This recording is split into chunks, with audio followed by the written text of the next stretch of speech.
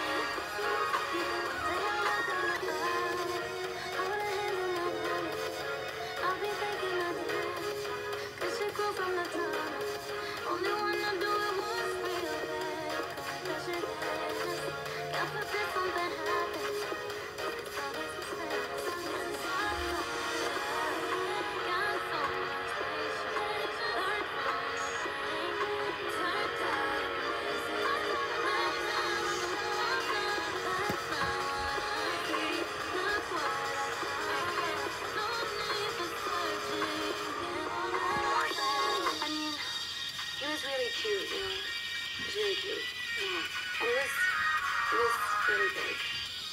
Mm. Well, I've only gone out with one guy that had a big front tooth. And I liked it because it, he never got anything stuck in the front teeth. Mm. But have you ever gone out with someone that had no teeth at all? No.